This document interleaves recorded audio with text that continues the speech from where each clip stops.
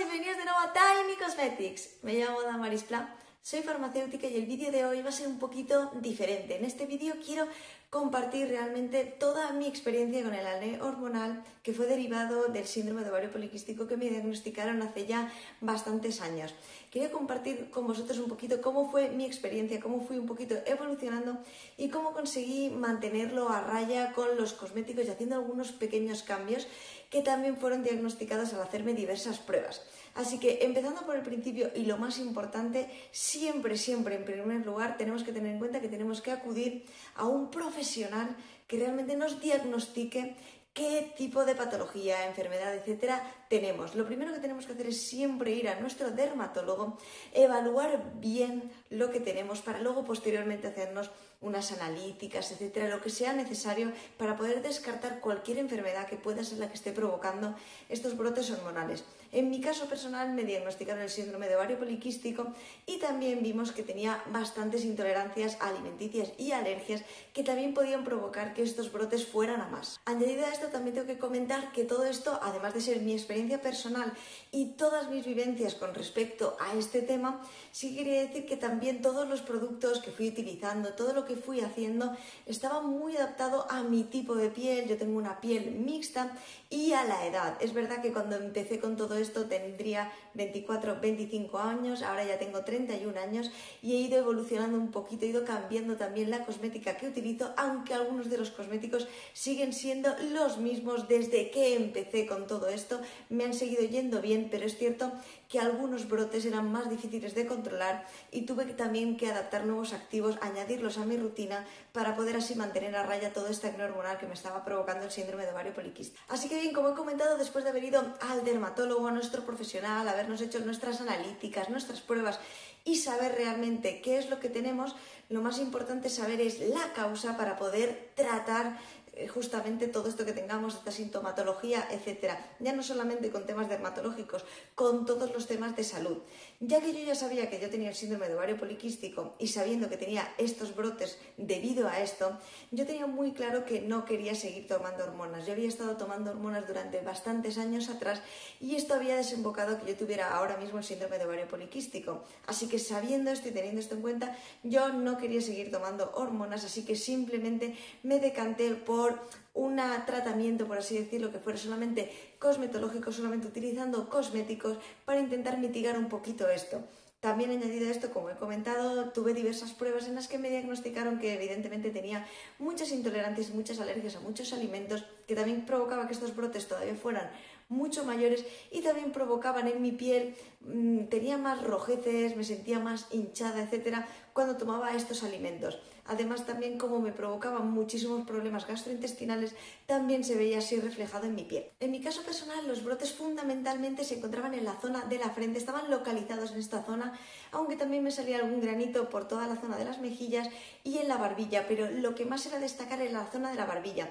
Estaréis viendo por aquí algunas fotos en las que veis cómo tengo, parece incluso hasta picaduras, cicatrices, etcétera. Realmente se me hacían una cantidad de acné, unos granitos, unas imperfecciones, luego se me quedaban unas marcas muy, muy grandes, se me quedaba una cicatriz, me costaba muchísimo, muchísimo trabajo mitigar un poquito esto y que volver a, que volver a notar mi piel realmente más homogénea. Sentía muchísimo que aunque ese granito desapareciera, luego sentía esta rojez, esta imperfección durante mucho tiempo hasta que mi piel podía volver a estar como en la normalidad, con un tono mucho más homogéneo con respecto a toda mi frente. Primer error que cometí fue abusar muchísimo de productos de limpieza y de exfoliantes. Y es que, como ya sabemos, cuando utilizamos muchísimos limpiadores, exfoliamos mucho nuestra piel, también estamos justamente eliminando este capa hidrolipídica de nuestra piel, este pequeño sebo, lípidos que tenemos en nuestra piel, que también es una protección frente a los agentes externos. Cuando eliminamos tanto estos sebo de nuestra piel, nuestro propio organismo sintetiza más. Así que cuando tenemos este brote, al eliminar tanto todos estos lípidos de nuestra piel y nuestro cuerpo sintetizar debido a la pérdida que estamos ocasionando nosotros mismos, todavía empeoramos mucho más el brote. Es importante tener una buena limpieza, pero no abusar de ella. Yo recuerdo que al ver estos granitos sentía que tenía la necesidad de limpiar en profundidad mi piel porque sabía que estos granitos al final eran pues evidentemente una infección, etcétera, y tenía la necesidad de estar limpiando, exfoliando, etcétera.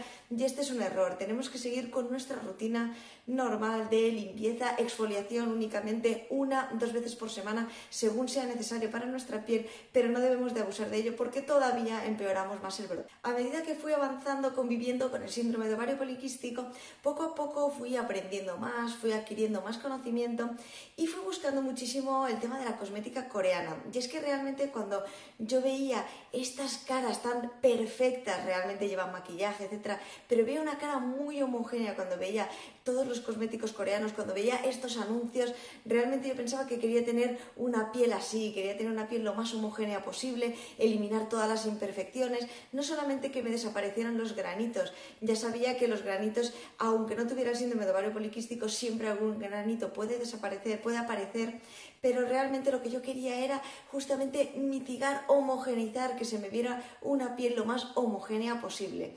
Y es así como empecé a descubrir un poquito toda la cosmética coreana. Fui probando muchísimos productos, pero realmente me decanté por productos que contuvieran té verde. Y es que realmente estos fueron los primeros que me introdujeron y me empezaron a hacer un poquito esta diferencia con respecto a mi piel. Y tengo por aquí que he traído todos los cosméticos que he ido utilizando, todavía tengo más, y que sigo utilizando en la actualidad, que muchos de ellos son de té verde. Eh, utilizo muchísimo la línea de Innisfree, es una línea que me gusta muchísimo, no me están pagando para patrocinarla, ni muchísimo menos, es la línea que a mí realmente me ha funcionado y he utilizado tanto su jabón, he utilizado también su tónico, eh, utilizo también, tengo por aquí el serum, este serum también lo analicé en el canal, que os dejo el vídeo en el que lo analizo por aquí. Este serum también me ha funcionado muy bien, me hidrata muchísimo, pero mantenía un poquito a raya estos pequeños brotes, etcétera. Tengo también por aquí muchos más productos con té verde que no son de la marca de Innisfree. Tengo aquí de Son by Me y también de Purito. Son dos marcas también que me gustan muchísimo. Estos son serums también que utilizo. En fin, realmente el tema del té verde fue el primer activo natural que empecé a incorporar un poquito en mi rutina y empecé a notar esta diferencia. Es cierto, y sí que tengo que decir, que cuando los brotes eran más grandes, cuando me cogía un brote mucho más grande, estos productos se me quedaban algo cortos. Realmente para el día a día, para mantener que no fuera más, sí que me venía bien, pero realmente para unos brotes mucho más acusados que tenía en muchísimas ocasiones, se me quedaba algo corto. Y fue en este momento cuando empecé a incorporar nuevos activos también a mi rutina. Yo sé que existen muchísimos activos que nos ayudan un poquito a controlar todos estos brotes, que también nos ayudan con el tema de las manchas, pero voy a hablar únicamente de los que me han funcionado bien a mí y de los que sigo utilizando actualmente en mis rutinas. Cada persona es un mundo, cada piel es un mundo, las necesidades son totalmente diferentes y los productos que me pueden venir bien a, mí pueden oíros bien a vosotros y puede ajustarse alguno otro mejor a vuestras necesidades. Aquí solamente quiero contar los que realmente me están funcionando bien a mí y me van bien a mí también con respecto a mi tipo de piel y actualmente ya teniendo más de 30 años los que tengo en mi rutina. Realmente mi cambio fundamental fue, además de seguir teniendo estos cosméticos con té verde, tanto mis cremas, mis serums, etcétera, Incorporé también vitamina C, niacinamida y también incorporé los alfa y los beta hidroxiácidos. Realmente mi piel no es una piel sensible, yo puedo utilizar alfa y beta hidroxiácidos sin ningún tipo de problema ni irritación. También puedo utilizar vitamina C sin tampoco tener ningún tipo de irritación, pero también para todas aquellas personas que tengáis las pieles más sensibles, etc. He empezado utilizando estos productos en una menor concentración, que tengan estos activos en una menor concentración, para ir probando bien cómo vuestra piel se adapta justamente a estos activos, ya que pueden ser algo irritativos. Yo incorporé un poquito activos que tuvieran también vitamina C para ayudar un poquito también a iluminar el tono de piel, para ayudar un poquito a homogeneizar y también empecé a incorporar muchos productos que también tengo por aquí de, de Ordinary, también de, de Beauty Drops. Tengo muchos productos que combinan también niacinamida con algún ácido. Realmente para mí es una muy buena combinación porque yo he sentido mucho que todas estas pequeñas manchitas, estas pequeñas marquitas se han mitigado muchísimo, prácticamente han desaparecido y yo siento que mi piel está mucho más homogénea. Realmente cuando veo estas fotos anteriores en las que veo cómo tengo estas marcas, estos granitos, etcétera, ahora no tengo estos brotes tan acusados.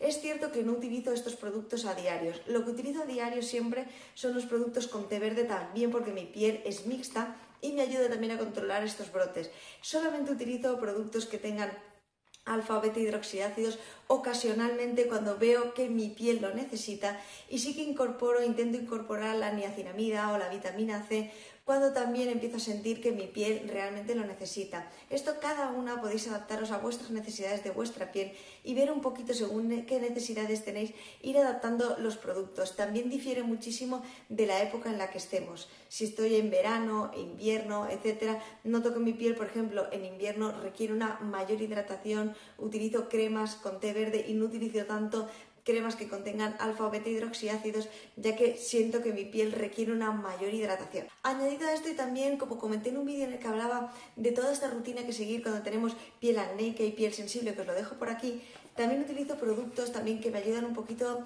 a controlar todo el tema de las posibles rojeces, de los granitos, etcétera, que llevan centella asiática, etcétera, como este, por ejemplo, de Benton, que me gusta muchísimo, que lo analicé también en este vídeo que os dejo por aquí.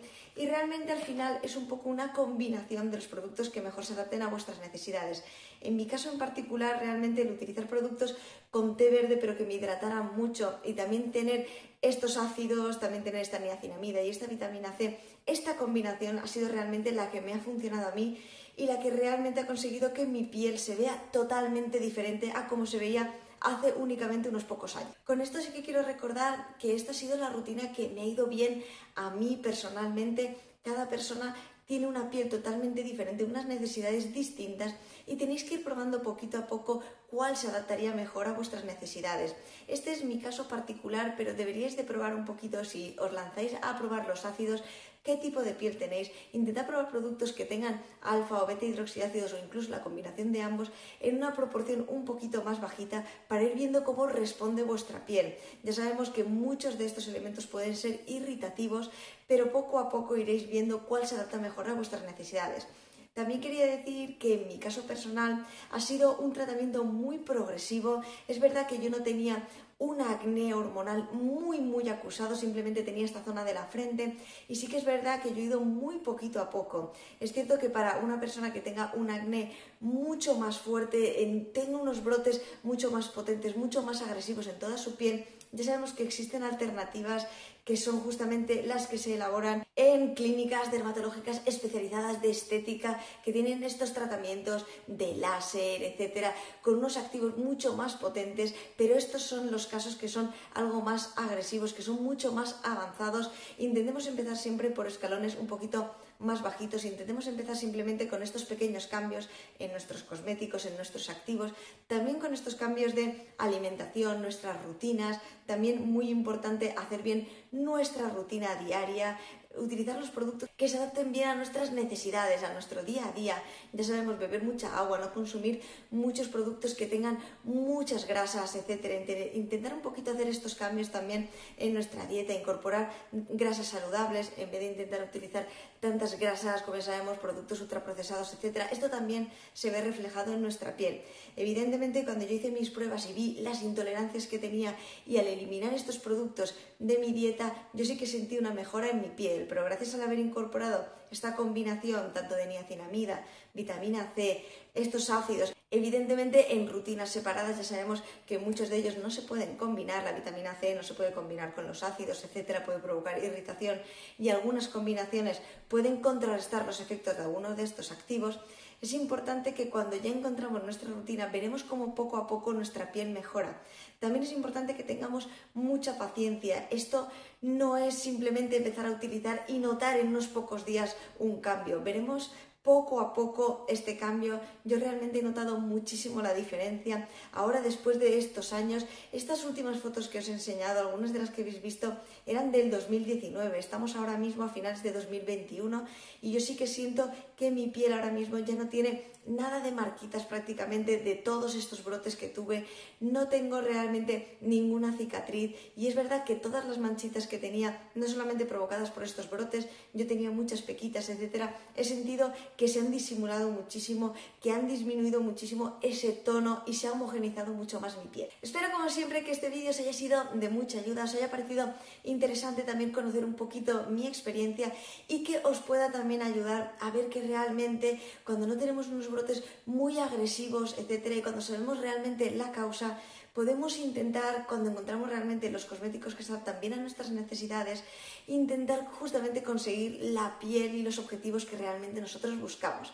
Si os gustaría que hablara más en profundidad de rutinas cosméticas, no solamente ya para el síndrome de ovario poliquístico, sino para otro tipo de pieles, según nuestro tipo de piel, qué rutinas utilizar, qué productos utilizar. Si os gustaría saber más en profundidad exactamente qué productos utilizo en mis rutinas, también dejádmelo todo en los comentarios para que intente hacer próximos vídeos.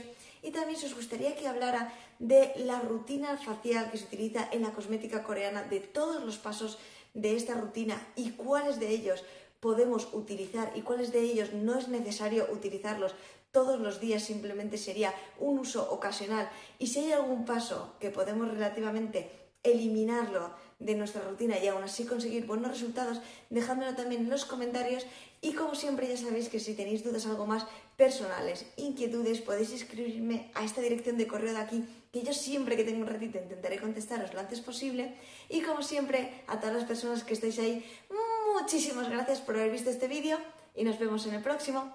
Hasta luego.